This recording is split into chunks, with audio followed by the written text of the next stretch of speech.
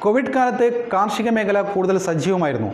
ഇടവിള കൃഷിയായി കപ്പ കൃഷി ചെയ്യുന്നതിനാണ് കൂടുതൽ ആളും താല്പര്യം കാട്ടിയത്.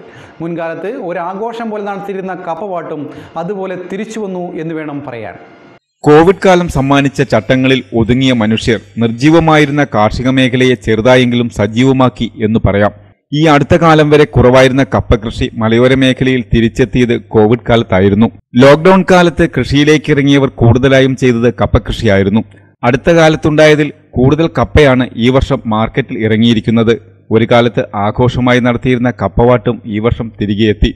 കപ്പവാട്ട് മുൻപൊക്കെ ഒരു ആഘോഷം തന്നെയായിരുന്നു. അയൽക്കാരും സുഹൃത്തുക്കളും ബന്ധുക്കളുമെല്ലാം ഒത്തുചേരുന്ന ഒരു ആഘോഷം. ക്വിന്റൽ കണക്കിന് കപ്പയാണ് അക്കാലങ്ങളിൽ വാട്ടിയിരുന്നത്. കപ്പ വരയ്ക്കുന്നതും ചെത്തുന്നതിനും അരിയുന്നതിനുമൊക്കെ ഒരു പ്രത്യേകതയുണ്ടായിരുന്നു. കപ്പയുടെ തൊലി ചെത്തുന്നത് മിക്കവാറും സ്ത്രീകളായിരിക്കും. കപ്പ അരിയുന്നത് പുരുഷന്മാരുടെ കുത്തകയാണ്. അതിനായി പ്രത്യേകം കത്തിയും മറ്റും ഉണ്ടാകും. അരിയുവാനും പ്രത്യേകം പ്രാവീണ്യമുള്ളവരാണിവർ. കപ്പവാട്ടുന്നതിനും പരിചയമുള്ളവർ തന്നെ വേണം.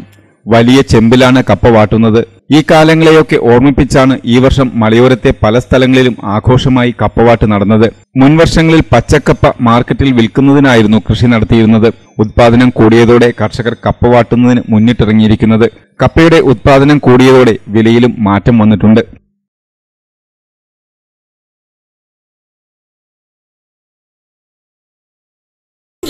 സ്ലോവാനിയ സ്ലോവാക്യ നെതർലാൻഡ് ഹംഗറി തുടങ്ങി യൂറോപ്പിലെ എല്ലാ രാജ്യങ്ങളിലെയും മികച്ച യൂണിവേഴ്സിറ്റികളിൽ പഠനത്തിനായി അവസരമൊരുക്കുന്ന visa consultant centre.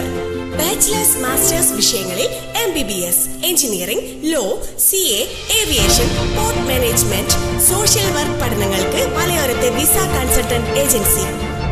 Europe study centre Apsara building Cherupuzha. Phone zero four nine eight five Two three double eight five six seven eight four.